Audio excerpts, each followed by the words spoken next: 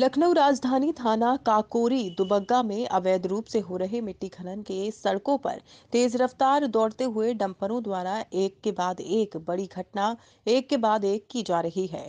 जान उजाड़ रहे परिवार अवैध रूप से खनन माफियाओं के मिट्टी से भरे हुए डंपर सड़कों पर दौड़ रहे डंपर बड़ी घटना को अंजाम देकर रफू चक्कर हो जाते हैं। 22 दिनों के भीतर अवैध रूप से खनन माफिया के मिट्टी भरे डंपरों से दर्दनाक तरह से दो मौतें हो चुकी हैं। मिट्टी के डंपर से कुचल कर देर रात यामिन नामक लगभग 45 वर्षीय दूसरी मौत हो गई। मृतक यामिन की दो बेटियाँ, एक बेटा समेत तीन बच्चे हैं। बेटी बड़ी लगभग 17 वर्ष की, आठ जनवरी को जितेंद्र नामक लगभग 22 वर्षीय युवक की डंपर से कुचलकर मौत हो गई थी। मृतक जितेंद्र की 28 मार्च 2023 को शादी हुई थी और पत्नी लगभग आठ महीने की गर्भवती है। 22 दिन बीत जाने के बाद भी जितेंद्र के परिवार वालों को न्याय नहीं मिला था कि खनन माफियाओं ने एक और परिवार को उजाड़ दिया। माया देवी कहाँ रहती हैं आप? कुसमौरा में। क्या घटना घटी आपके साथ? मेरे हस्बैंड ड्यूटी से घर वापस आ रहे थे। रास्ते में एक्सीडेंट हो गया? मछली मंडी के आसपास। और डंपर से हुआ है। तो इसकी शिकायत आपने पुलिस में की थी? किया था पर कोई कार्रवाई पुलिस नहीं कर रही है। आप क्या चाहते हैं?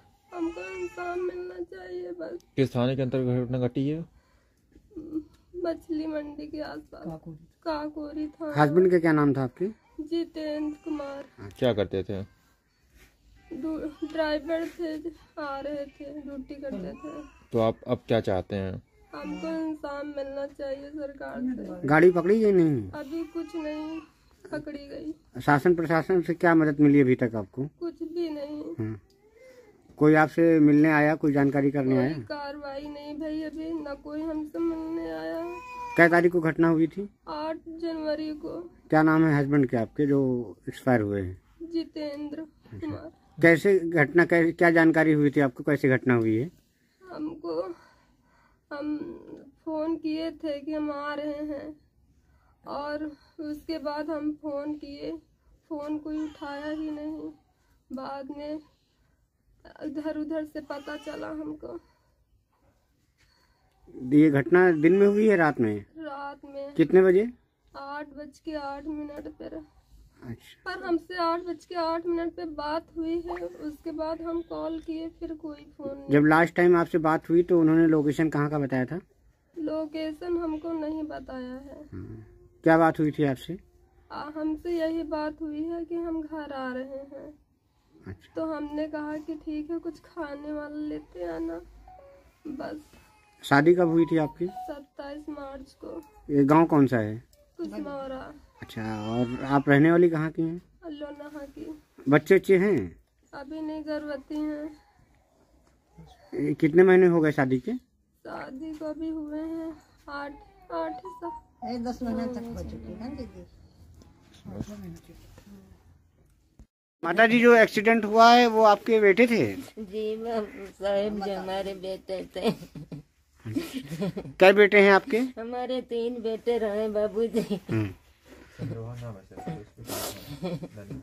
क्या चाहती हैं आप सरकार से? क्या अरे बाबूजी अब हम क्या बतावे हमारा तो दिमाग का नहीं काम करता। हमको इंसाफ चाहिए हमका कुछ न चाहिए। कैसे जानकारी हुई थी माता जी की एक्सीडेंट आपके बेटे का? हुआ व्हाट्सएप पर जब भेज दी तो सबको हमका फ़ोन से बताया है भैया जो हमारा बेटा का व्हाट्सएप पर सब फ़ोटो चला गया। वहाँ हम दौड़ के गए हम कुछ भी नहीं पाया ये तो हेलमेट का टुकड़ा बाबूजी पाया। टुकड़ा मिले बच्चा नहीं। सब मारे बाबूजी तो आकर ले इतना तेज डंफर टक्कर बच्चे